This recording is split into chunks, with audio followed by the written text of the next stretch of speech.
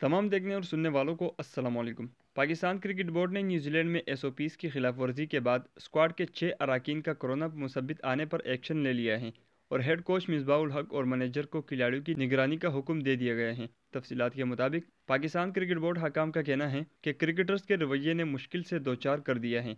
कोई गैर जिम्मेदाराना सरगर्मी में मलूस पाया गया तो उसे वापस भेज दें।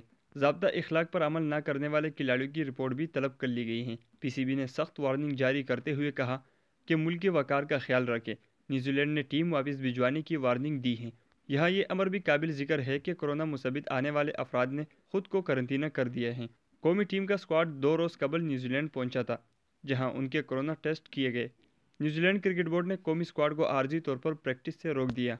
न्यूजीलैंड क्रिकेट का कहना है कि पाकिस्तान स्क्वाड के कुछ अरकान ने आइसोलेशन के पहले दिन एस ओ पीज़ की खिलाफ वर्जी की। पाकिस्तान टीम के स्क्वाड में शामिल अफराद का कोरोना टेस्ट मुसबित आना अफसोसनाक है। मुसबित आने वालों में से छः में से दो अरकान पहले भी कोरोना का शिकार हो चुके हैं।